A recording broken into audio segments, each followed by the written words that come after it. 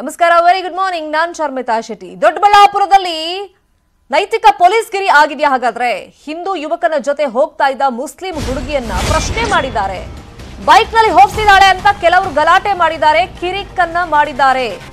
ಬೈಕ್ನಲ್ಲಿ ತೆರಳುತ್ತಾ ಇದ್ರು ಯುವಕ ಹಾಗೇನೆ ಯುವತಿ. ತಡೆದಿದ್ದಾರೆ ಬಂದಲ್ಲಿ. ಕೇಳಿದ್ದಾರೆ, ಪ್ರಶ್ನೆ ಮೇಲೆ ಪ್ರಶ್ನೆ ಮಾಡಿದ್ದಾರೆ. ದೊಡ್ಡಬಳ್ಳಾಪುರ ನಗರದ ತೇರಿನ ಬೀದಿಯಲ್ಲಿ ನಡೆದಿರುವಂತಹ ಘಟನೆ ಇದು. ನಗರದ ಇಸ್ಲಾಂಪುರ ನಿವಾಸಿ ಹುಜೂರು ಹಾಗೇನೆ ಟೀಮ್ನಿಂದ ಈ ಹಲ್ಲೆ ಆಗಿರೋದು. ನಿಮ್ಮ ಮನೆಯವ್ರ ನಂಬರ್ ಕೊಡು, ಫೋನ್ ನಂಬರ್ ಕೊಡು, ಫೋನ್ ಮಾಡ್ತೀವಿ ನಾವು ಇನ್ಫಾರ್ಮೇಶನ್ ಕೊಡ್ತೀವಿ, ಹಿಂಗೆಲ್ಲ ಕಿರಿಕ್ ಮಾಡಿದ್ದಾರೆ ಆ ಹುಡುಗಿ ಹತ್ರ. ದಾಂಧಲೆ ದೃಶ್ಯ ಮೊಬೈಲ್ನಲ್ಲಿ ರೆಕಾರ್ಡ್ ಆಗಿದೆ, ಆ ವಿಡಿಯೋ ಈಗ ಸಿಕ್ಕಾಪಟ್ಟೆ ವೈರಲ್ ಆಗ್ತಾ ಇದೆ. ದೊಡ್ಡಬಳ್ಳಾಪುರ ನಗರ ಠಾಣೆಯಲ್ಲಿ ದೂರು ದಾಖಲಾಗಿದೆ. ಕಳೆದ ಭಾನುವಾರ ನಡೆದಿರುವಂತ ಘಟನೆ ಈಗ ತಡವಾಗಿ ಬೆಳಕಿಗೆ ಬಂದಿದೆ, ಆ ವಿಡಿಯೋ ಎಲ್ಲ ವೈರಲ್ ಆದ್ಮೇಲೆ.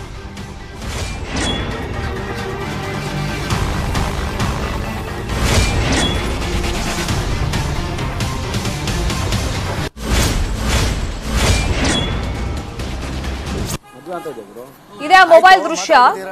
ಹಿಂದೂ ಹುಡುಗನ್ ಜೊತೆಗೆ ಮುಸ್ಲಿಂ ಯುವತಿ ಹೋಗ್ತಾ ಇದ್ರು ಇದನ್ನೇ ಪ್ರಶ್ನೆ ಮಾಡಿದ್ದಾರೆ. ಅಂದ್ರೆ ಸ್ನೇಹ ಯಾವ ಧರ್ಮದವ್ರ ಜೊತೆನೂ ನಾವು ಬೆಳೆಸಂಗಿಲ್ವಾ ಹಲವಾರು ಪ್ರಶ್ನೆಗಳು ಇಲ್ಲಿ ಉದ್ಭವ ಆಗುತ್ತೆ. ದೊಡ್ಡಬಳ್ಳಾಪುರದಲ್ಲಿ ನಡೆದಿರುವಂತ ಘಟನೆ ಇದು.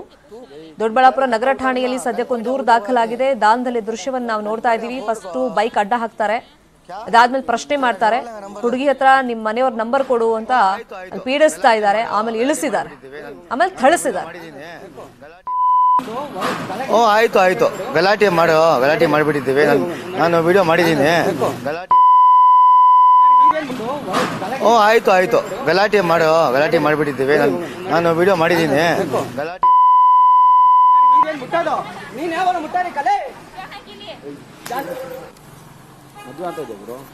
ಆಯ್ತು, ಮಾತಾಡ್ಬಿಡ್ತೀರ ಅವ್ರ ಮನೆಯವ್ರಿಗೆ ಮಾತಾಡ್ಬೇಡ ಎಳ್ಳೆ ನಿಮಿಷ. ಮದುವೆ ಆಗ್ಬಿಡಿ ಅಂತ.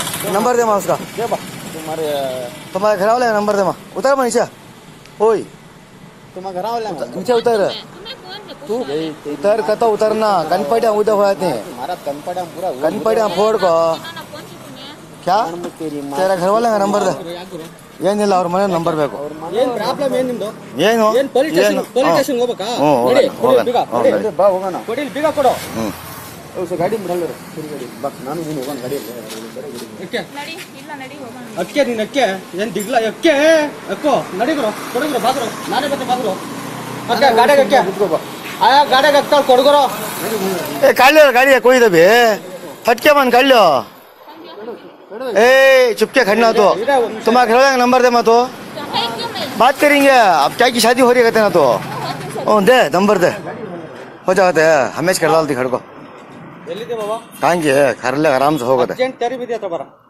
ಆರಿಫ್ನ ಕರ್ ಆರಿಫ್ನ ಎಲ್ಲಾರನ್ನ ಕರ್ಕೊಂಡು ತೇರಿ ಬೀದಿ ತೇರಿ ಬಾ. ಇಲ್ಲಿ ನಮ್ಮ ಹುಡುಗಿ ಜೊತೆ ಇದ್ರೆ ಯಾರು ಮುಸ್ಲಿಂ ಬಂದು ಗಲಾಟೆ ಮಾಡ್ತಾರೆ ಬೇಗ ಬಾ. ಹುಡುಗರ್ನೆಲ್ಲ ಕರ್ಕೊಂಬ ಎಲ್ಲ ಬೇಗ ಬಾ ಅವರು ನಾನು ಏನು ಹೇಳ್ತಾ ಇರೋದು ನಿಮಗೆ? ಕಾಂಪ್ರಮೈಸ್ ಮಾಡ್ಕೊಂಡು ಮದುವೆ ಮಾಡ್ಕೊ. ನಮ್ಗೇನಕ್ಕಪ್ಪ ಹೇಗೆ ಬೇ? ಕಾಮ್ ಹೈಸ್ ಹೇಸ್ ಘರ್ ಓಯ್. ಹ್ಞೂಮ್ಮ ಕಾ ಹ್ಞೂ ಆಯಿತು ಆಯಿತು. ಗಲಾಟೆ ಮಾಡೋ, ಗಲಾಟೆ ಮಾಡಿಬಿಟ್ಟಿದ್ದೀವಿ. ನಾನು ನಾನು ವಿಡಿಯೋ ಮಾಡಿದ್ದೀನಿ. ಗಲಾಟೆ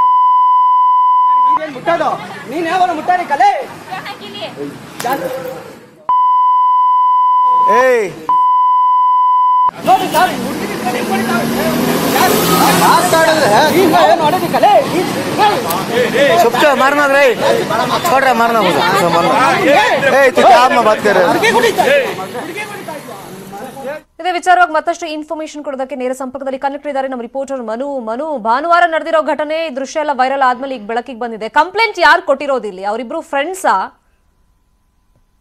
ಎಸ್ ಶರ್ಮಿತಾ ಏನು, ಇವರಿಬ್ರು ಏನು ಮುಸ್ಲಿಂ ಯುವತಿ ಮತ್ತೆ ಹಿಂದೂ ಯುವಕ ಏನೋ ಒಂದು ಪ್ರೀತಿಯಲ್ಲಿ ಪ್ರೀತಿ ಮಾಡ್ತಾ ಇರ್ತಾರೆ. ಈ ಹಿನ್ನೆಲೆಯಲ್ಲಿ ಏನು ಆ ದಿನ ಭಾನುವಾರ ಏನು ರಜೆ ಹಿನ್ನೆಲೆಯಲ್ಲಿ ಏನು ಸಿಟಿಯನ್ನ ರೌಂಡ್ಸ್ ಮಾಡೋ ಏನೋ ಒಂದು ಉದ್ದೇಶದಿಂದ ಅವತ್ತು ಏನೋ ಹಿಂದೂ ಯುವಕರ ಜೊತೆ ಏನು ಮುಸ್ಲಿಂ ಯುವತಿ ಹೊರಟಿರ್ತಾಳೆ. ಆ ನಡುವೆ ಏನು ಮುಸ್ಲಿಂ ಯುವಕರ ತಂಡ ಒಂದು ಬರ್ತದೆ ಏಕಾಏಕಿ ನೀನು ಮುಸ್ಲಿಂ ಹುಡುಗಿ ಆಗಿದ್ದು ಹಿಂದೂ ಯುವಕನನ್ನ ಏನು ಪ್ರೀತಿ ಮಾಡ್ತಿದ್ಯಾ? ಈ ಪ್ರೀತಿಗೆ ನಿಮ್ಮ ಮನೆಯವರ ಒಪ್ಪಿಗೆ ಇದೆಯಾ? ಅವರು ಎಲ್ಲಾರು ಒಪ್ಪಿದಾರ? ನಿಮ್ಮ ಏನೋ ನಿಮ್ಮ ಪೇರೆಂಟ್ಸ್ಗೆ ಇದರ ಮಾಹಿತಿ ಗೊತ್ತಿದೆ ಅಂತ ಏನು ಒಂದು ಯುವತಿಯನ್ನು ಪ್ರಶ್ನೆ ಮಾಡಲು ಮುಂದಾಗ್ತಾರೆ. ನಂತರ ಮಾತಿಗೆ ಮಾತು ಬೆಳೆದು ಏನೋ ಯುವತಿಯ ಮೇಲೆ ಏಕಾಏಕಿ ಹಲ್ಲೆಗೆ ಮುಂದಾಗಿರುವಂತದ್ದು ಏನೋ ಅಲ್ಲಿಗೆ ಬಂದ ಹಿಂದೂ ಯುವಕ ಒಬ್ಬನೇ ಇದ್ದ. ಮುಸ್ಲಿಂ ಯುವಕರು ನಾಲ್ಕೈದು ಜನ ಏನೋ ಒಂದು ಗುಂಪಿತ್ತು. ಆ ಗುಂಪಿನ ಏನು ಒಬ್ಬನೇ ಏನೋ ಒಬ್ಬನಿಗೆ, ಒಬ್ಬನ ಸುತ್ತ ನಾಲ್ಕೈದು ಜನ ಸುತ್ತಕೊಂಡು ಏನೋ ಪ್ರಶ್ನೆಗಳ ಸುರಿಮಳೆಯನ್ನ ಗೈದಿರ್ತಾರೆ ನಂತರ ಏನು ಭಾನುವಾರ ಆಗಿರೋ ಹಿನ್ನೆಲೆಯಲ್ಲಿ ಅಲ್ಲಿ ಜನರು ಸಹ ಓಡಾಡ್ತಿರ್ತಾರೆ. ಆದ್ರೆ ಏನು ಈ ಘಟನೆ ನಡೆದಂತ ಹಿನ್ನೆಲೆಯಲ್ಲಿ ಏನು ಆಗ ಸಹ ಆ ಯುವಕ, ಹಿಂದೂ ಯುವಕರನ್ನ ಕರೆಸ್ಕೊಂಡು ಏನೋ ಮಾತಿಗೆ ಮಾತಿಗೆ ಬೆಳೆದು ಆ ಏಕಾಏಕಿ ಏನು ಮುಸ್ಲಿಂ ಯುವಕರು, ಮುಸ್ಲಿಂ ಹುಡುಗಿಯ ಮೇಲೆ ಹಲ್ಲೆಯನ್ನ ಮಾಡಿರುವಂತದ್ದು ವಿಡಿಯೋ ಈಗ ಸಾಮಾಜಿಕ ಜಾಲದಲ್ಲಿ ಜಾಲತಾಣದಲ್ಲಿ ವೈರಲ್ ಆಗಿತ್ತು.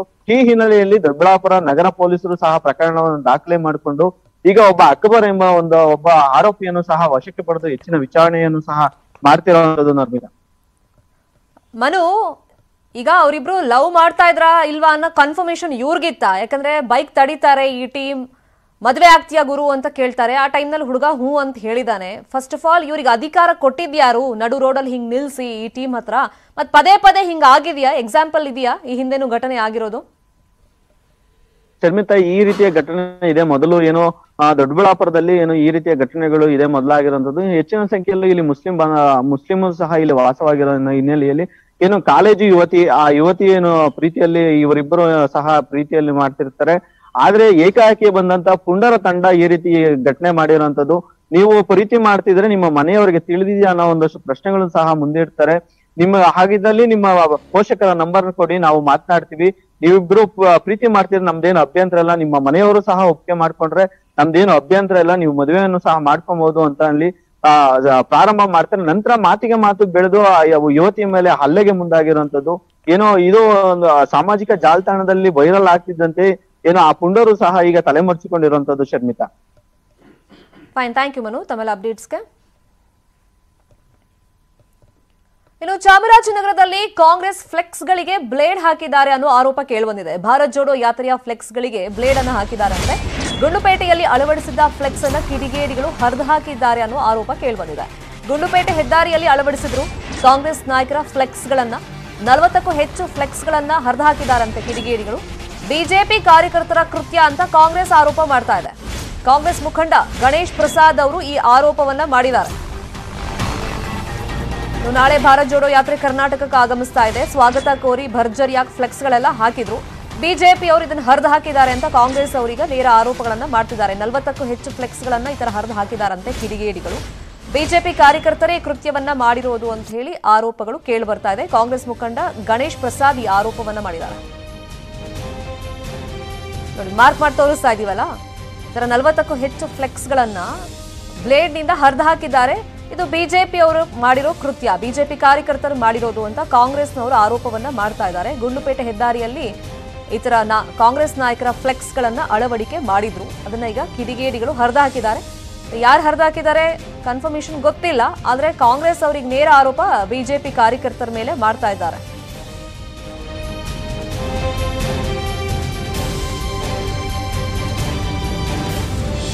ಇನ್ನೇ ನಾಳೆ ಭಾರತ್ ಜೋಡೋ ಯಾತ್ರೆ. ರಾಹುಲ್ ಗಾಂಧಿ ನೇತೃತ್ವದ ಯಾತ್ರೆ ಕರ್ನಾಟಕ ಪ್ರವೇಶ ಮಾಡುತ್ತೆ. ಚಾಮರಾಜನಗರದಲ್ಲಿ ಅವರಿಗೆ ವೆಲ್ಕಮ್ ಮಾಡೋದಕ್ಕೆ, ಸ್ವಾಗತವನ್ನು ಕೋರೋದಕ್ಕೆ ಭರ್ಜರಿಯಾಗಿ ಫ್ಲೆಕ್ಸ್ಗಳನ್ನೆಲ್ಲ ಹಾಕಿದ್ದಾರೆ. ಆದರೆ ಪ್ರಮುಖ ನಾಯಕರ ಫ್ಲೆಕ್ಸ್ಗಳಿಗೆ ಈಗ ಬ್ಲೇಡ್ ಹಾಕಿದ್ದಾರೆ. ಅಂದರೆ ಬ್ಲೇಡ್ನಿಂದ ಹರಿದು ಹಾಕಿದ್ದಾರೆ ಅದನ್ನೆಲ್ಲ. ಸೊ ಕಿಡಿಗೇಡಿಗಳು ಮಾಡಿರುವಂಥ ಕೃತ್ಯ. ಆದರೆ ಇದು ಬಿಜೆಪಿ ಕಾರ್ಯಕರ್ತರೇ ಮಾಡಿರೋದು ಅಂತ ಕಾಂಗ್ರೆಸ್ ಮುಖಂಡ ಗಣೇಶ್ ಪ್ರಸಾದ್ ಅವರು ನೇರವಾಗಿ ಆರೋಪವನ್ನು ಮಾಡಿದ್ದಾರೆ. ಇದು ಯಾವ ಥರ ನೆಕ್ಸ್ಟ್ ವಾಕ್ಸಮರ ಕಾರಣಗಳನ್ನು ಮಾಡಿಕೊಳ್ಳುತ್ತೆ ಅನ್ನೋದು ನೋಡಬೇಕಾಗತ್ತೆ. ಈಗ ಭಾರತ್ ಜೋಡೋ ಯಾತ್ರೆ ಕರ್ನಾಟಕದ ಎಂಟ್ರಿ ಟೈಮ್ನಲ್ಲಿ ಈ ಥರದ ಬೆಳವಣಿಗೆ ಗುಂಡ್ಲುಪೇಟೆಯಲ್ಲಾಗಿದೆ.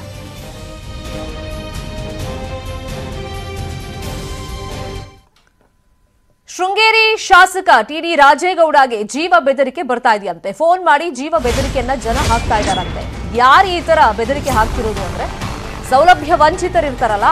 ಫೋನ್ ಮಾಡಿ ಬೆದರಿಕೆಯನ್ನ ನೇರವಾಗಿ ಎಂ ಎಲ್ ಎಗೆ ಹಾಕ್ತಾ ಇದ್ದಾರಂತೆ. ಅರಣ್ಯ ಇಲಾಖೆ ಕಿರುಕುಳದಿಂದ ನಕ್ಸಲ್ ಸಮಸ್ಯೆ ಜಾಸ್ತಿ ಆಗಿದೆ. ಶೃಂಗೇರಿ ಸುತ್ತಮುತ್ತ ಭಾಗದಲ್ಲಿ ಕಿರುಕುಳಕ್ಕೆ ಬೇಸತ್ತು ರೈತರು ಕಂಗಾಲಾಗಿದ್ದಾರೆ. ಸಮಸ್ಯೆಗಳಿಂದ ಜನರನ್ನ ಮುಕ್ತಿಗೊಳಿಸಿ ನನ್ನ ಜೀವ ಉಳಿಸಿ ಅಂತ ಶಾಸಕರೇ ಕೇಳ್ಕೊಳ್ತಾ ಇದ್ದಾರೆ. ಪತ್ರದ ಮೂಲಕ ಹಾಗೂ ಮೌಖಿಕವಾಗಿ ಹಾಗೆಯೇ ದೂರವಾಣಿ ಕರೆಗಳ ಮೂಲಕ ಶಾಸಕರಿಗೆ ಬೆದರಿಕೆ ಬರ್ತಾ ಇದೆಯಂತೆ. ನಮ್ಮ ಕ್ಷೇತ್ರದ ಸಮಸ್ಯೆ ಬಗೆಹರಿಸಿ ಸರ್ಕಾರ ನನ್ನ ಜೀವ ಉಳಿಸಬೇಕು ಅಂತ ಶೃಂಗೇರಿ ಶಾಸಕ ರಾಜೇಗೌಡರು ಸರ್ಕಾರಕ್ಕೆ ಮನವಿಯನ್ನ ಮಾಡಿದ್ದಾರೆ, ಆಗ್ರಹನೂ ಮಾಡಿಕೊಂಡಿದ್ದಾರೆ.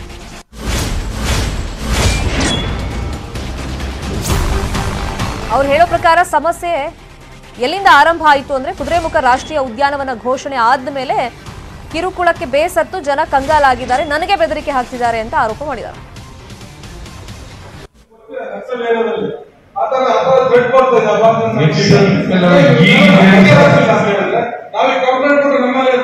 ತಹಸೀಲ್ದಾರರು ಅರಣ್ಯ ಇಲಾಖೆಗೆ ಪತ್ರ ಕೂಡ ಬರೆದಿದ್ದಾರೆ. ಮತ್ತೇನು ಸರ್ವೆ ಡಿಪಾರ್ಟ್ಮೆಂಟ್ ಕೂಡ ಪತ್ರ ಬರೆದಿದ್ದಾರೆ. ಅದನ್ನು ಸರ್ವೆ ಮಾಡಿ ಅವ್ರಿಗೆ ಅದನ್ನೇನು ನೋಟಿಫೈ ಮಾಡಕ್ಕೆ ಹೊರಟಿಯಾರೋ ಅದನ್ನು ಹೊರಗೆ ತರಬೇಕು ಅಂತೇಳಿ ಅರಣ್ಯ ವ್ಯವಸ್ಥಾಪನಾ ಅಧಿಕಾರಿಗಳಿಗೂ ಕೂಡ ಮನವಿ ಮಾಡಿದ್ದಾರೆ. ಅವ್ರಿಗೆ ಯಾವುದೇ ಪರಿಹಾರ ಸಿಗ್ತಿದ್ದಾಗ ಅವರ ಬದುಕಿಗೆ ಕಂಟಕ ಬಂದಾಗ ಅನಿವಾರ್ಯ ಅವರು ಅದನ್ನು ನಮಗೆ ಥ್ರೆಟ್ ಮಾಡ್ತಕ್ಕಂಥದ್ದು ಅವರ ಅನಿವಾರ್ಯ. ಹಾಗಾಗಿ ಹಿಂದೆ ಏನೇನು ಥ್ರೆಟ್ ಮಾಡಿದ್ರು ಅದ್ರ ಬಗ್ಗೆ ಯಾರ್ಯಾರು ಮಾಹಿತಿ ಕೊಟ್ಟರು ಅವ್ರ ಪರಿಸ್ಥಿತಿ ಏನಾಗಿದೆ ಅಂತ ಗೊತ್ತಿದೆ ನಿಮ್ಮೆಲ್ರಿಗೂ. ಹಾಗಾಗಿ ನಾನು ಯಾರ ಮೇಲೂ ದೂರು ಕೊಡೋಕ್ಕೂ ಹೋಗೋದಿಲ್ಲ. ಥ್ರೆಟ್ ಇರ್ತಕ್ಕಂಥದ್ದು ಹೌದು. ನಾನು ಯಾರೇ ಎಷ್ಟೇ ಒತ್ತಡ ತಂದ್ರು ದೂರು ಕೊಡೋಕೆ ಹೋಗೋದಿಲ್ಲ. ಅವರಿಗೆ ನ್ಯಾಯ ಒದಗಿಸ್ಕೊಡೋಕ್ಕಾಗ್ತಿದ್ರೆ ನಾವು ಇರೋದಕ್ಕಿಂತ ಸಾಯೋದೇ ಒಳ್ಳೇದು. ಏನು? ಭರವಸೆ ಇದೆ ಇಲ್ಲ. ಅಂತ ಹೇಳೋದಿಲ್ಲ. ಅಲ್ಲ ಹಿಂದೆ ಭರವಸೆ ಇದ್ದಿದ್ದು ಪಾಪ ಅವ್ರನ್ನ ಬದುಕ್ಸೋಕ್ಕಾಯ್ತಾ? ಈಗ ನಿಮಗೆ ಗೊತ್ತಿದೆ ಅಲ್ಲಿ ಏನೇನಾಗಿದೆ ಅಂತ ನಿಮ್ಮ ಹತ್ರ ಮಾಹಿತಿ ಇದೆಯಲ್ಲ? ಸ್ಟ್ಯಾಟಿಸ್ಟಿಕ್ಸ್ ಇದೆಯಲ್ಲ ನಿಮಗೆ? ಅವ್ರಿಗೆ ನಾವು, ಈಗ ಅವರಿಗೆ ಅವರಿಗೆ ಯಾವುದು ಸರ್ಕಾರ ಮನಸ್ಸ ತಂತ್ರ ಅಲ್ಲ, ಇರೋ ವಾಸ್ತವಾಂಶ ನಾನು ಹೇಳಿದ್ದೀನಿ. ಆ ಜನರು ಬದುಕಿರೋ ಪರಿಸ್ಥಿತಿನೂ ಕೂಡ ಅದೇ ರೀತಿ ಆಗಿದೆ. ಅಲ್ಲ ಕಣ್ರಿ, ಅರ್ಧ ಸೇತುವೆ ಅರ್ಧ ಸೇತುವೆ ನಿರ್ಮಾಣ ಮಾಡಿದ್ದನ್ನು ಕಟ್ಟಕ್ಕೆ ಬಿಡೋದಿಲ್ಲ ಅವರಿಗೆ. ಇನ್ನೂ ಅವ್ರ ಪರಿಸ್ಥಿತಿ ದುಸ್ತರ. ಒಂದು ಮರ ಕಟ್ಕೊಂಡು ಮರ ಹಾಕೊಂಡು ಅದ್ರ ಮೇಲೆ ಓಡಾಟ ಮಾಡ್ತಿದ್ದಾರೆ. ಅವ್ರಿಗೆ ಮೂಲಭೂತ ಸೌಕರ್ಯ ಕೊಡದಿದ್ರೆ ಅವ್ರು ನಾವು ಯಾಕೆ ಇರಬೇಕು? ನ್ಯಾಚುರಲ್ ಅವ್ರು ಥ್ರೆಟ್ ಮಾಡಿದ್ರಲ್ಲಿ ತಪ್ಪೇ ತಪ್ಪಿದೆ ಅಂತ ನಾನು ಹೇಳೋದಿಲ್ಲ. ಅದು ತಪ್ಪಾಗಿದ್ರೆ ಅವರಿಗೆ ನಮಗೆ ಭಯ ಹುಟ್ಟಿಸಿದ್ದು ನಾವು ಅವ್ರದ್ದು ಅಲ್ಲಿ ಆ ಭಾಗದ ಸ್ಥಳೀಯ ಭಾಗದ ಜನರ ತಪ್ಪಾಗಿದ್ದು ನಾವು ದೂರು ಕೊಡ್ತಿದ್ದೆ ಅವ್ರು ಕೇಳ್ತಕ್ಕಂಥ ನ್ಯಾಯ ಇದೆ. ಅವ್ರಿಗೆ ನ್ಯಾಯ ಒದಗಿಸ್ತಕ್ಕಂಥದ್ದು ಸರ್ಕಾರದ ಚುನಾಯಿತ ಪ್ರತಿನಿಧಿ ಆದಂತ ನನ್ನ ಆದ್ಯ ಕರ್ತವ್ಯ. ನಾನು ಪ್ರಯತ್ನ ಮಾಡಿದ್ದೀನಿ. ಅದಕ್ಕೆ ಸರ್ಕಾರ ಸ್ಪಂದಿಸಬೇಕು. ಪಿಎಫ್ಐ ಬ್ಯಾನ್ ಬಳಿಕ ಪೊಲೀಸರು ಅಲರ್ಟ್ ಆಗಿದ್ದಾರೆ. ಪಿಎಫ್ಐ ಕಚೇರಿಗಳ ಮೇಲೆ ದಾಳಿ ಮಾಡಿ ಬೀಗ ಜಡಿತಾ ಇದ್ದಾರೆ. ಕೊಡಗು ಕೋಲಾರ ಮಂಗಳೂರಲ್ಲಿ ಬೀಗ ಹಾಕಿದ್ದಾರೆ. ಜಿಲ್ಲಾಧಿಕಾರಿಗಳ ಆದೇಶದ ಮೇರೆಗೆ ದಾಳಿಯನ್ನ ಮಾಡಿದ್ದಾರೆ. ಕಚೇರಿಗಳಲ್ಲಿ ಪರಿಶೀಲನೆಯನ್ನ ಪೊಲೀಸರು ಮಾಡ್ತಾ ಇದ್ದಾರೆ. ಮಂಗಳೂರಲ್ಲಿ ಹಲವು ದಾಖಲೆಗಳನ್ನ ವಶಕ್ಕೆ ಪಡೆದಿದ್ದಾರೆ.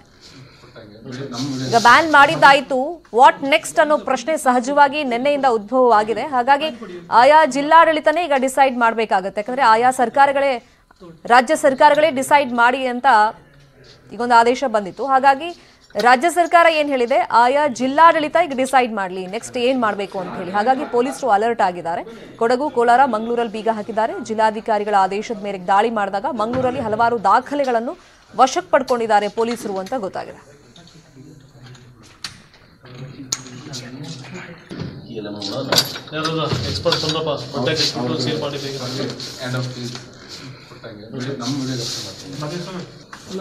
ಈಗ ಈಗ ಸೀಲ್ ಬೇಕಲ್ಲ ಸೀಲ್ ಕೊಡಿ. ಕಾಯಿನ್ ಕೊಡಿ. ಹೇಳ್ತೀನಿ. ನಾನು ಮಾಡ್ತೀನಿ. ಕೊಪ್ಪಳದಲ್ಲಿ ಪಿಎಫ್ಐ ಕಚೇರಿಗಳ ಮೇಲೆ ದಾಳಿಯಾಗಿದೆ. ಪಿಎಫ್ಐ ಮುಖಂಡರ ಮನೆಗಳಲ್ಲೂ ಶೋಧ ಕಾರ್ಯ ಮಾಡ್ತಾ ಇದ್ದಾರೆ. ಗಂಗಾವತಿಯ ಪಿಎಫ್ಐ ಮುಖಂಡರ ಮನೆಗಳಲ್ಲಿ ತಪಾಸಣೆ ಆಗಿದೆ. ಇದಿಷ್ಟೇ ಅಲ್ಲ ಉಡುಪಿಯಲ್ಲೂ ಪಿಎಫ್ಐ ಹಾಗೆಯೇ ಎಸ್ಟಿಪಿಐ ಕಚೇರಿಗಳ ಮೇಲೆ ದಾಳಿಯಾಗಿದೆ. ಇನ್ನು ಪಿ ಎಫ್ ಐ ಇರ್ಬೋದು ಎಸ್ ಟಿ ಪಿ ಐಗೆ ಸಂಬಂಧಪಟ್ಟಂತ, ಅಂದರೆ ಸೇರಿದ ಕಚೇರಿಗಳನ್ನು ಕೂಡ ಸೀಸ್ ಮಾಡಿದ್ದಾರೆ. ಅಲ್ಲೂ ದಾಖಲೆಗಳ ಪರಿಶೀಲನೆ ಮಾಡಿದ್ದಾರೆ. ಹಲವಾರು ದಾಖಲೆ ಪರಿಕರಗಳನ್ನು ವಶಕ್ಕೆ ಪಡ್ಕೊಂಡಿದ್ದಾರೆ. ಉಡುಪಿಯ ಪಂದುಬೆಟ್ಟು ಮಸೀದಿ ಬಳಿಯ ಕಟ್ಟಡದಲ್ಲೇ ಕಚೇರಿ ಇದೆ ಹೂಡೆ ಮತ್ತೆ ಗಂಗೊಳ್ಳಿಯ ಎಸ್ಟಿಪಿಐ ಕಚೇರಿಯನ್ನ ಸೀಸ್ ಮಾಡಿದ್ದಾರೆ. ಎಸ್ಟಿಪಿಐ ನಾಯಕರಾದ ಬಶೀರ್ ನಜೀರ್ ಮನೆ ಮೇಲೂ ಕೂಡ ದಾಳಿಯನ್ನ ಮಾಡಿದ್ದಾರೆ. ಇದಿಷ್ಟೇ ಅಲ್ಲ, ಚಿಕ್ಕಮಗಳೂರಲ್ಲೂ ಕೂಡ ಪಿಎಫ್ಐ ಮತ್ತೆ ಎಸ್ಟಿಪಿಐ ಕಚೇರಿ ಮೇಲೆ ದಾಳಿಯಾಗಿದೆ. ಆಲ್ದೂರಿನ ವಗಾರ್ ರಸ್ತೆಯಲ್ಲಿ ಆರಿಫ್ ಮನೆ ಮೇಲೆ ರೇಡ್ ಆಗಿದೆ. ಪಿಎಫ್ಐ ಜಿಲ್ಲಾಧ್ಯಕ್ಷ ಚಾಂದ್ ಪಾಷಾ ಮನೆ ಮೇಲೂ ರೇಡ್ ಆಗಿದೆ. ಎಸ್ಟಿಪಿಐ ಜಿಲ್ಲಾಧ್ಯಕ್ಷ ಗೌಸ್ ಮುನೀರ್ ಮನೆ ಮೇಲೆ ದಾಳಿಯಾಗಿದೆ. ಪೊಲೀಸ್ ಬಂದೋಬಸ್ತಲ್ಲಿ ಅಲ್ಲಿ ಮುಖಂಡರ ಮೇಲೆ ದಾಳಿಯಾಗಿರೋದು ಪಿಎಫ್ಐ ಮತ್ತೆ ಎಸ್ಟಿಪಿಐ ನಿಷೇಧಿತ ಪಿಎಫ್ಐ ಚಟುವಟಿಕೆ ಬಗ್ಗೆ ಸದ್ಯಕ್ಕೆ ಅಧಿಕಾರಿಗಳು ಎಲ್ಲ ಕಡೆ ಮಾಹಿತಿಯನ್ನ ಕಲೆ ಹಾಕ್ತಾ ಇದ್ದಾರೆ. ಇದೇ ವಿಚಾರವಾಗಿ ಮತ್ತಷ್ಟು ಇನ್ಫಾರ್ಮೇಶನ್ ಕೊಡೋದಕ್ಕೆ ಫೋನ್ ಸಂಪರ್ಕದಲ್ಲಿ ಕನೆಕ್ಟೆಡ್ ಇದ್ದಾರೆ ನಮ್ಮ ರಿಪೋರ್ಟರ್ ವೀರೇಶ್. ವೀರೇಶ್, ಚಿಕ್ಕಮಗಳೂರಲ್ಲಿ ಈಗ ಪಿ ಎಫ್ ಐ ಮತ್ತೆ ಎಸ್ಟಿಪಿಐ ಕಚೇರಿ ಮೇಲೆ ದಾಳಿ ಆಗಿದೆ. ಈಗ ಯಾರ್ಯಾರನ್ನ ಯಾರ್ಯಾರ ಮನೆ ಮೇಲೆ ಆಫೀಸ್ ಮೇಲೆ ಈಗ ಸದ್ಯಕ್ಕೆ ದಾಳಿ ಮಾಡಿದ್ದಾರೆ, ಅಲ್ಲಿನ ಸಿಚುವೇಶನ್ ಹೇಗಿದೆ? ಆ ಶರ್ಮಿತಾ ಏನು ಚಿಕ್ಕಮಗಳೂರು ಜಿಲ್ಲೆಯ ವಿವಿಧ ಕಡೆಗಳಲ್ಲಿ ಇವತ್ತು ಅಧಿಕಾರಿಗಳು ದಾಳಿ ಮಾಡಿರುವಂತದ್ದು ಜಿಲ್ಲಾಧಿಕಾರಿಗಳ ಸರ್ಚ್ ವಾರೆಂಟ್ ಮೇಲೆ ಮನೆಗಳ ಏನು ಎಸ್ ಮತ್ತು ಪಿ ಐ ಸಂಘಟನೆಯ ಕಾರ್ಯಕರ್ತರು ಹಾಗೂ ಜಿಲ್ಲಾಧ್ಯಕ್ಷರ ಮನೆ ಮೇಲೆ ಈಗ ಅಧಿಕಾರಿಗಳು ದಾಳಿ ಮಾಡಿ ದಾಖಲೆಗಳನ್ನ ಪರಿಶೀಲನೆ ಮಾಡ್ತಿರುವಂತದ್ದು ಏನು ಚಿಕ್ಕಮಗಳೂರು ನಗರದ ವಿಜಯಪುರ ಬಡಾವಣೆಯಲ್ಲಿರುವಂತಹ ಪಿ ಎಫ್ ಐ ಜಿಲ್ಲಾಧ್ಯಕ್ಷ ಚಾಂದ್ ಪಾಷಾ ಹಾಗೂ ಹುಬ್ಬಳ್ಳಿಯಲ್ಲಿರುವಂತಹ ಎಸ್ ಡಿ ಪಿ ಐ ಜಿಲ್ಲಾಧ್ಯಕ್ಷ ಗೌಸ್ ಮುನೀರ್ ಹಾಗೂ ಚಿಕ್ಕಮಗಳೂರು ತಾಲೂಕಿನ ಆಲ್ದೂರು ಗ್ರಾಮದಲ್ಲಿರುವಂತಹ ಸಕ್ರಿಯ ಕಾರ್ಯಕರ್ತ ಆರಿಫ್ ಅವರ ಮನೆ ಮೇಲೆ ದಾಳಿ ಮಾಡಿರುವಂತದ್ದು ಈಗಾಗಲೇ. ಮತ್ತೆ ಜೊತೆಗೆ ಚಿಕ್ಕಮಗಳೂರು ನಗರದ ಮಲ್ಲಂದೂರು ರಸ್ತೆಯಲ್ಲಿರುವಂತಹ ಎಸ್ ಡಿ ಜಿಲ್ಲಾ ಕಚೇರಿ ಮೇಲೂ ಕೂಡ ಈಗ ಅಧಿಕಾರಿಗಳು ದಾಳಿ ಮಾಡಿರುವಂತದ್ದು ವಿವಿಧ ಇಲಾಖೆಯ ಅಧಿಕಾರಿಗಳು ಬೇರೆ ಬೇರೆ ಕಡೆಗಳಲ್ಲಿ ದಾಳಿ ಮಾಡಿರುವಂತದ್ದು ಇನ್ನು ಜಿಲ್ಲಾಧ್ಯಕ್ಷರು ಹಾಗೂ ಸಕ್ರಿಯ ಕಾರ್ಯಕರ್ತರ ಮನೆ ಮೇಲೆ ದಾಳಿ ಮಾಡಿದ್ದು, ಅವರು ಯಾವ ಚಟುವಟಿಕೆಗಳಲ್ಲಿ ಮತ್ತೆ ಸಂಘಟನೆಯಲ್ಲಿ ಭಾಗವಹಿಸಿದಂತ ಚಟುವಟಿಕೆಗಳಾಗಿರ್ಬೋದು, ಮತ್ತೆ ನಿಷೇಧಿತ ಪಿ ಎಫ್ ಐ ಸಂಘಟನೆಯ ಏನು ಚಟುವಟಿಕೆಗಳ ಬಗ್ಗೆ ಈಗಾಗಲೇ ಮಾಹಿತಿಗಳನ್ನ ಕಲೆ ಹಾಕ್ತಿರುವಂತ ಜೊತೆಗೆ ಪಾಸ್ಪೋರ್ಟ್ ಮತ್ತೆ ಜೊತೆಗೆ ಅವರು ವ್ಯವಹಾರಗಳನ್ನು ಕೂಡ ಅಧಿಕಾರಿಗಳು ಕಲೆ ಹಾಕ್ತಿರುವಂತದ್ದು ಯಾವ ರೀತಿಯಲ್ಲಿ ಅವರಿಗೆ ಹಣದ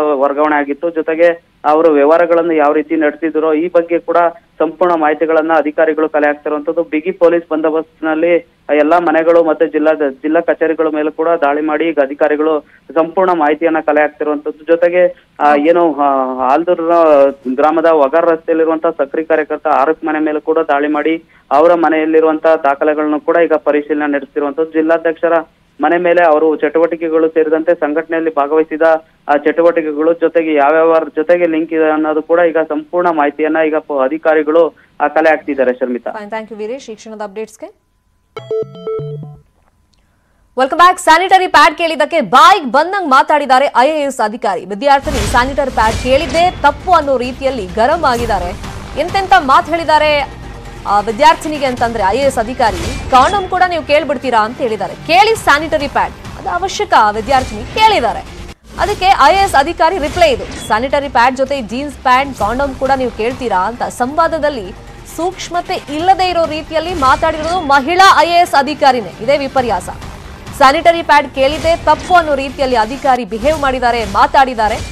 ಬಿಹಾರ ರಾಜಧಾನಿ ಪಾಟ್ನಾದಲ್ಲಿ ನಡೆದಿರುವಂತಹ ಘಟನೆ ಇದು ಐಎಎಸ್ ಅಧಿಕಾರಿ ಹರ್ಜೋತ್ ಕೌರ್ ಭಂಬ್ರಾ ವಿರುದ್ಧ ಈಗ ಆಕ್ರೋಶ ವ್ಯಕ್ತವಾಗಿದೆ ಸಾಮಾಜಿಕ ಜಾಲತಾಣಗಳಲ್ಲಿ ಅಧಿಕಾರಿ ಬಗ್ಗೆ ಭಾರೀ ಟೀಕೆಗಳು ವ್ಯಕ್ತವಾಗ್ತಾ ಇದೆ ತುಂಬಾ ಜನ ಇದನ್ನ ಅಪೋಸ್ ಮಾಡ್ತಾ ಇದ್ದಾರೆ ವಿದ್ಯಾರ್ಥಿನಿ ಕೇಳಿದ್ದಿಷ್ಟೇ ಮೇಡಮ್ ಸ್ಯಾನಿಟರಿ ಪ್ಯಾಡ್ ಕೊಡಬಹುದಲ್ವಾ ಅಂತ ನೀಡ್ ಕೇಳಿದ್ದಾರೆ ಸೊ ಅದಕ್ಕೆ ಮಹಿಳಾ ಅಧಿಕಾರಿ ರಿಪ್ಲೈ ನೋಡಿ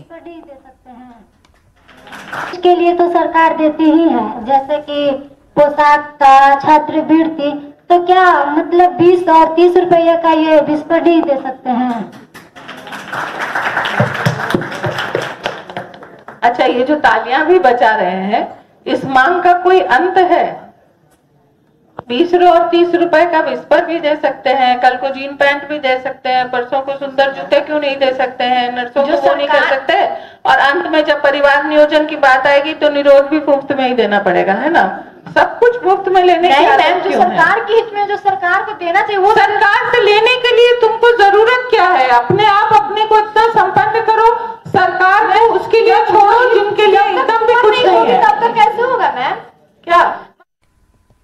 ಬಿಬಿಎಂಪಿ ನಿರ್ಲಕ್ಷ್ಯಕ್ಕೆ ಬೇಸತ್ತಿದ್ದಾರೆ ಪೀಣ್ಯದ ಉದ್ಯಮಿಗಳು. ನಮಗೆ ಬಿಬಿಎಂಪಿಯೇ ಬೇಡ ಅಂತ ಕೂಗು ಹೆಚ್ಚಾಗ್ತಾ ಇದೆ. ಪ್ರತ್ಯೇಕ ಟೌನ್ಶಿಪ್ಗೆ ಪೀಣ್ಯ ಕೈಗಾರಿಕಾ ಸಂಘ ಮನವಿಯನ್ನ ಮಾಡಿಕೊಂಡಿದೆ. ಮತ್ತೆ ಬಿಬಿಎಂಪಿ ಹಾಗೇನೆ ಸರ್ಕಾರಕ್ಕೆ ಪತ್ರವನ್ನ ಬರೆದಿದೆ ಪೀಣ್ಯ ಕೈಗಾರಿಕಾ ಸಂಘ.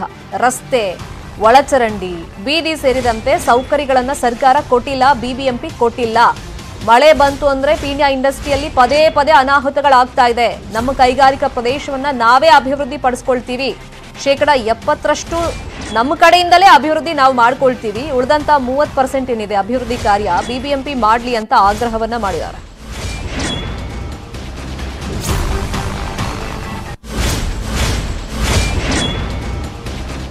ಆದರೆ ನಮ್ಮದು ಏನು ಅಂದರೆ ನಾವೇ ಒಂದು ಎಪ್ಪತ್ತು ಪರ್ಸೆಂಟು ನಮಗೆ ಉಳಿಯುತ್ತೆ. ಇಲ್ಲಿ ಮೂಲಭೂತ ಸೌಕರ್ಯ ಏನಿದೆ ರೋಡ್ಸ್ ಆಗಲಿ ಸ್ಟ್ರೀಟ್ ಸ್ಟ್ರೀಟ್ ಲೈಟ್ ಆಗಲಿ, ನಾವು ಡ್ರೈನೇಜ್ ಆಗಲಿ ನಾವೇ ಮಾಡ್ಕೊಬೋದು. ಆ ಥರ ಒಂದು ಪ್ರಾಧಿಕಾರ ನಮ್ಮಲ್ಲಿ ರಚನೆ ಆಗಿ ನಾವೇ ಮಾಡ್ಕೊಬೋದು. ಏನೇ ಮೂವತ್ತು ಪರ್ಸೆಂಟ್ ಏನಿದೆ ಬಿ ಬಿ ಎಂ ಪಿಗೆ ಮೂವತ್ತು ಪರ್ಸೆಂಟ್ ಕಟ್ಟಿ ಎಪ್ಪತ್ತು ಪರ್ಸೆಂಟ್ ನಮ್ಗೆ ಉಳಿಯುತ್ತೆ ಆವಾಗ ಏನಾದರೂ ಪೀಣ್ಯ ಇಂಪ್ರೂವ್ಮೆಂಟ್ ಆಗ್ಬೋದು ಹೊರತು. ಅದು ಅಲ್ದಿರ ಇವತ್ತಿನ ಪರಿಸ್ಥಿತಿಯಲ್ಲಿ ನಾವು ಪೀಣ್ಯದ ಇಂಪ್ರೂವ್ಮೆಂಟ್ ಮಾಡೋಕ್ಕೆ ಸಾಧ್ಯನೇ ಇಲ್ಲ. ಈಗ ನಾವೇನು ಹೇಳ್ತೀವಿ ಏರೋಸ್ಪೇಸ್ ಕಾಂಪೊನೆಂಟ್ಸು ಮ್ಯಾನುಫ್ಯಾಕ್ಚರ್ ಮಾಡ್ತೀವಿ ಅಂತ ಹೇಳ್ತೀವಿ, ಎಲ್ಲ ಕಡೆ ಹೇಳ್ಕೊಂತೀವಿ. ಬಟ್ ಯಾರೂ ಕಸ್ಟಮರ್ಸು ನಮ್ಮ ಪೀಣ್ಯಾಗೆ ಬರೋಕ್ಕೆ ಇಂದಿನಿಂದ ಎರಡು ದಿನ ಉತ್ತರ ಒಳನಾಡಿನಲ್ಲಿ ಮಳೆ ಅಲರ್ಟ್ ಘೋಷಿಸಲಾಗಿದೆ. ಉತ್ತರ ಒಳನಾಡಿನ ಹಲವು ಜಿಲ್ಲೆಗಳಿಗೆ ಯೆಲ್ಲೋ ಅಲರ್ಟ್ ಘೋಷಣೆ ಮಾಡಲಾಗಿದೆ. ಬೆಳಗಾವಿ, ಬಾಗಲಕೋಟೆ, ಬೀದರ್, ಧಾರವಾಡ, ಗದಗ, ಕಲಬುರಗಿ, ಕೊಪ್ಪಳ, ವಿಜಯಪುರ, ಯಾದಗಿರಿ ಜಿಲ್ಲೆಗಳಿಗೆ ಅಲರ್ಟ್ ಘೋಷಿಸಲಾಗಿದೆ. ಉಳಿದಂತೆ ರಾಜ್ಯದ ಹಲವೆಡೆ ಹಗುರದಿಂದ ಮಳೆ ಸಾಧ್ಯತೆ ಇದೆ ಅಂತ ಹವಾಮಾನ ಇಲಾಖೆ ಮುನ್ಸೂಚನೆಯನ್ನು ಕೊಟ್ಟಿದೆ. ಬೆಂಗಳೂರಲ್ಲಿ ಯಾವುದೇ ಅಲರ್ಟ್ ಘೋಷಣೆ ಇಲ್ಲ. ಸಾಧಾರಣ ಮಳೆಯಾಗುವಂತ ಸಾಧ್ಯತೆ ಇದೆ ಅಂತ ಹೇಳಲಾಗ್ತಾ ಇದೆ.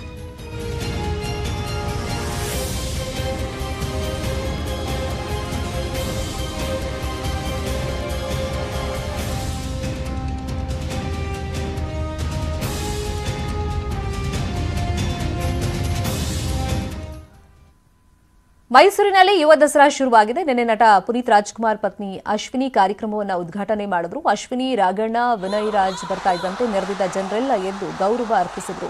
ಶಿಳೆ ಚಪ್ಪಾಳೆ ಹೊಡೆದ್ರು. ಇಡೀ ಅಂಗಳದಲ್ಲಿ ಅಪ್ಪುಗೆ ಜೈಕಾರ ಮೊಳಗ್ತು. ವೇದಿಕೆಯಲ್ಲಿ ಅಪ್ಪು ಗಂಧದ ಗುಡಿ ಟ್ರೇಲರ್ ನೋಡ್ತಾ ಅಶ್ವಿನಿ ಬಿಕ್ಕಿ ಬಿಕ್ಕಿ ಕಣ್ಣೀರನ್ನು ಹಾಕಿದ್ರು. ಈ ಮಧ್ಯೆ ಯುವ ದಸರಾದಲ್ಲಿ ಯುವಕರು ಯುವಕರು, ಯುವತಿಯರು ಕುಣಿದು ಕುಪ್ಪಳಿಸಿದರು.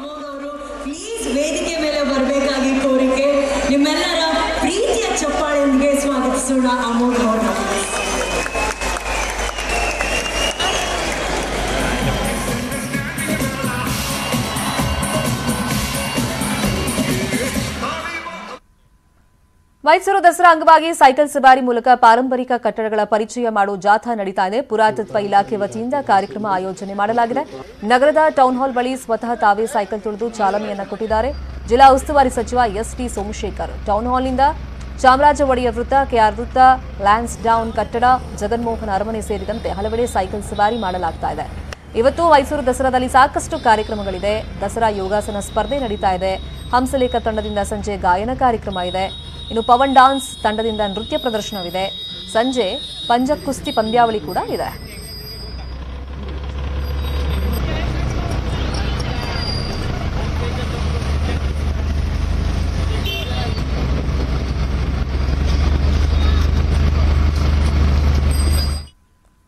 ಇವಿಷ್ಟು ಸದ್ಯದ ನ್ಯೂಸ್ ಅಪ್ಡೇಟ್ಸ್ ನೋಡ್ತಾರೆ ನ್ಯೂಸ್ ಏಟೀನ್ ಕನ್ನಡ. ಜಾಲ ನಮ್ಮದು ಬಲ ನಿಮ್ಮದು.